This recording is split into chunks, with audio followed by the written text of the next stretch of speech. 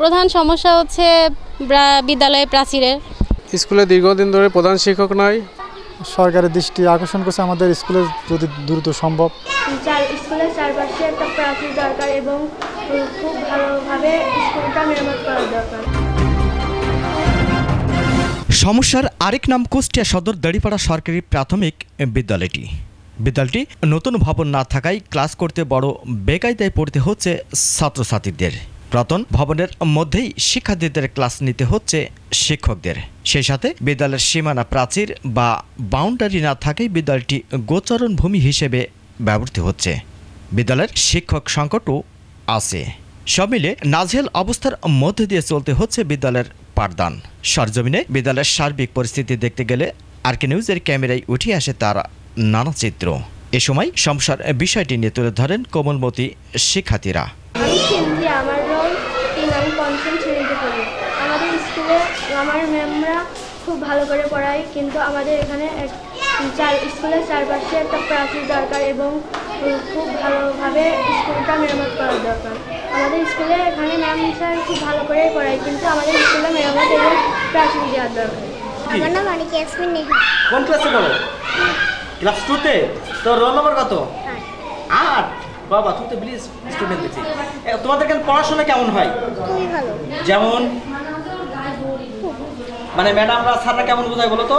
খুবই ভালো। আমার ম্যাম আমাদের ভালো করে বোঝায় ভালো করে লেখায়। আমরা যদি না পারি তো আমাদের ভালো করে বোঝায়। দেয় আরাফাত আহমেদ। কোন ক্লাসে পড়ো? ক্লাস টু ক্লাস টু আচ্ছা তোমাদের এখানে পড়াশোনা কেমন হয় বলো তো? যেমন? স্যার ম্যাডামরা কেমন পড়ায়? অবশ্যই এত সব সমস্যার বিষয়টি বেশ আকপটে তুলে ধরেন বিদ্যালয়ের শিক্ষকরা। পাপিয়া নাসরিন সহকারী শিক্ষক। প্রধান সমস্যা হচ্ছে বিদ্যালয়ের প্রাচীরের মানে হচ্ছে তারপরে নতুন ভবন লাগবে, ভবনের সমস্যা। তারপরে হচ্ছে বাচ্চাদের এই যে ওয়াশ ব্লক ওয়াশ ব্লক লাগবে।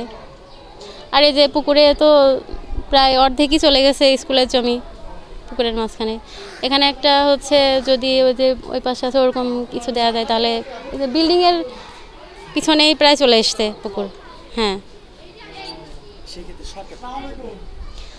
সরকারের তো অনেক কিছুই করার আছে। এই যে অনেক সব মানে কাজ তো আসে স্কুলের।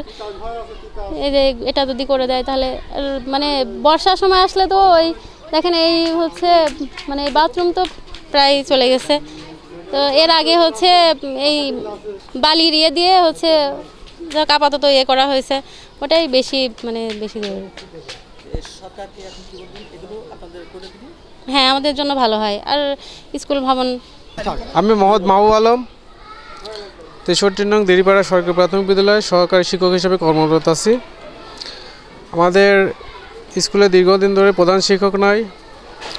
তারপরে আমাদের স্কুলে যে ওয়াশ ব্লকের সমস্যা তারপরে যে পুকুরে ভেঙে যাচ্ছে তারপরে এদিকে বাথরুমের যে টাঙ্কিগুলোর জন্য এই এই রুমে আছে বেশ দুর্গন্ধ হয়। মানে অধিকাংশ সময় দুর্গন্ধ হয়। তখন আমাদের স্প্রে করে দুর্গন্ধ দূর করা হয়, ছেলেমেয়েরা সবাই বলে।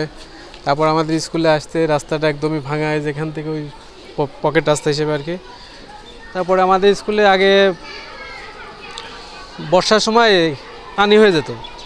এই মাটি দেওয়া হয়েছে, ওইদিকে দেওয়া হয়নি, ওইদিকে দিলে আর একটু ভালো হয়।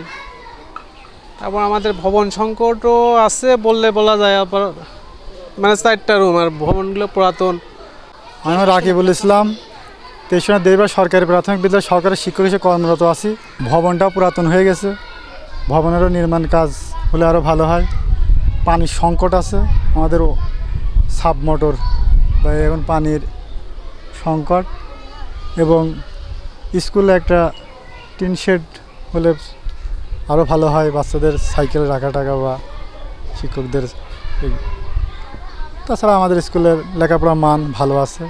আমাদের শিক্ষক, ম্যাডামরা অনেক আন্তরিকতা। আমরা বাচ্চাদের নিয়ে হার্ড অ্যান্ড সোলভাবে শিক্ষা দেওয়া দিই এবং যতদূর সম্ভব বাচ্চাদের গাইডলাইন অনুযায়ী পরিচালনা করি।